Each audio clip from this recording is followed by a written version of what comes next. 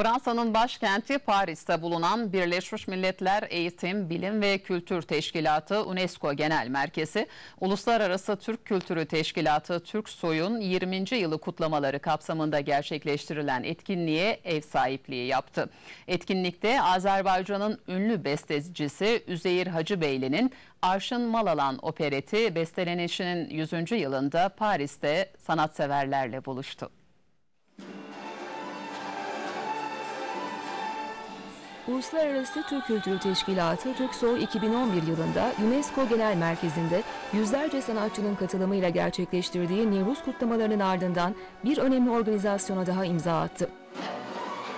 Birleşmiş Milletler Eğitim, Bilim ve Kültür Teşkilatı UNESCO Genel Merkezi'nde Azerbaycan müziğinin yaratıcısı ve ilk profesyonel bestecisi Üzeyir Hacıbeyli'nin ünlü eseri Arşın Malalan opereti, bestelenişinin 100. yılında Paris'te sanatseverlerle buluştu.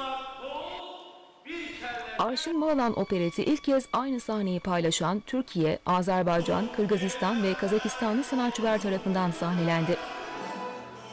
Alanındaki en önemli eserlerden biri olan Arşın Malalan opereti bugüne kadar birçok dile çevrilerek büyük ün kazanmış bir sanat eseri olarak biliniyor.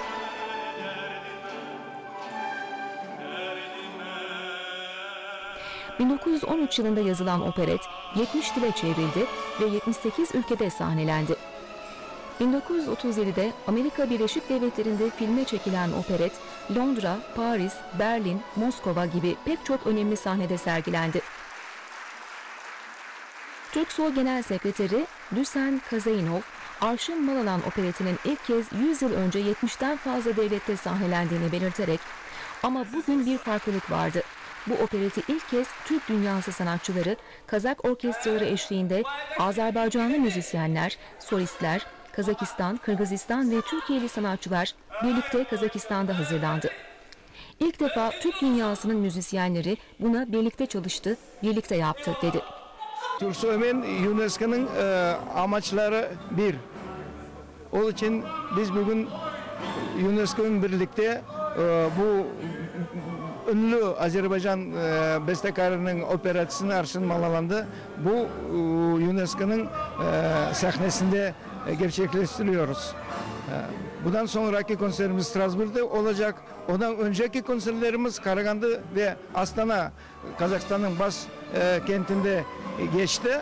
E, böyle biz Türk dünyasının e, sanatçıların, Türk dünyasının zengin zenginliklerin tüm dünyaya gösteriyoruz. Türk Soy'un yaptığı çok önemli bir e, katkı bu. Türk Cumhuriyeti'ne, Türklüğe yaptığı çok büyük bir e, katkı. Çünkü Türkler e, çok büyük bir coğrafyaya yayılmışlar ama işte gördüğünüz gibi sanat, müzik bütün Türkleri bir araya getiriyor. Azerbaycanlı şef Agaverdi Paşaev'de Türk soyun Türk sanatının tanınması için yaptığı çalışmaların çok önemli olduğunu ve bunun artarak devam etmesinin dünyanın Türk sanatının tanınmasına büyük katkı sağlayacağını kaydetti.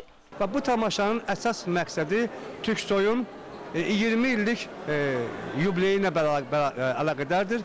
Yəni Türk soyun artıq 20 il ərzində gördüyü bir çox böyük proyektlərdən və bu hadisi demək olar ki, bugünkü məqamda sonuncusudur və mən əminəm ki, Türksoy hələ bundan da sonra çox-çox e, proyektlər yapacaq, e, çox gözəl proyektlər quracaq və bugünkü e, ta, e, tamaşa da məhz Türksoyun 20 ili ilə əlaqədar olduğu üçün mən özümü xoşbəxt sayıram. UNESCO Genel Merkezi'nde Türk soyun son 20 yılını konu alan bir de fotoğraf sergisi açıldı.